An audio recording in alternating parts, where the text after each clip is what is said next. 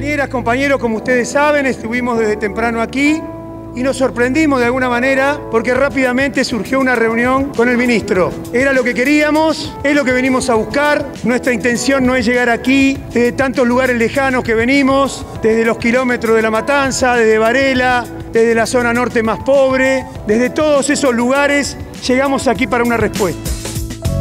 Se pone en pie el plan de lucha votado el último fin de semana en el plenario nacional piquetero.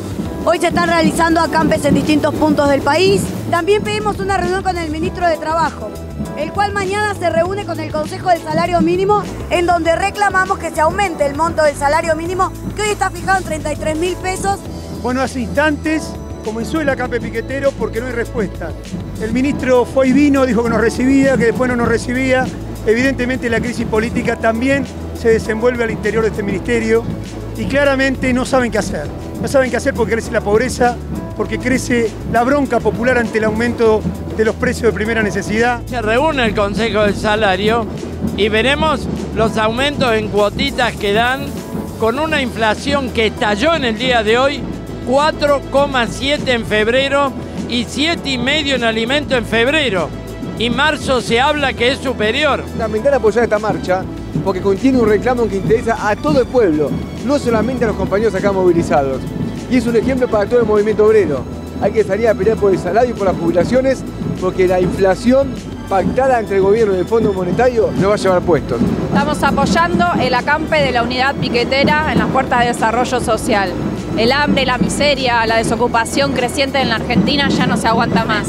Se ha declarado una especie de guerra contra los trabajadores con este ajuste que se va a agravar con el Fondo Monetario Internacional. Qué contraste, ¿no? Este plan de lucha que se quiere plantar contra ese plan de guerra y lo que están transando en el Senado, que es una nueva sanción para eh, este pacto con el FMI del gobierno y que también apoya la posición patronal.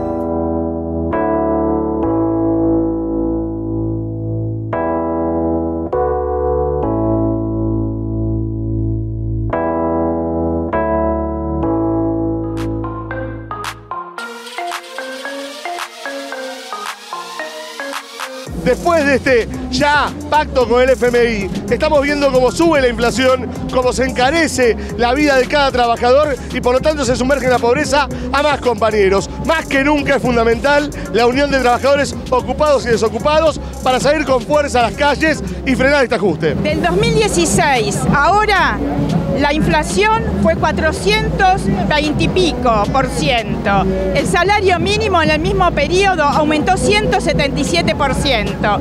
Las cifras hablan solas. Está concluyendo una jornada enorme en todo el país.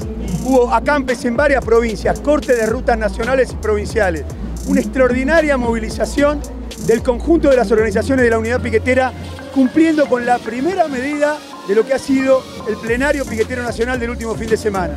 Es extraordinaria esta movilización porque inicia un proceso de lucha de la clase obrera contra el ajuste. No tiene que pasar el ajuste y para eso ocurra tenemos que unir a los trabajadores porque este ajuste que se va a redoblar con la crisis mundial y con el acuerdo con el Fondo Monetario Internacional no puede pasar. Necesitamos una gran unidad obrera para aplastar este ajuste y llevar adelante nuestras reivindicaciones.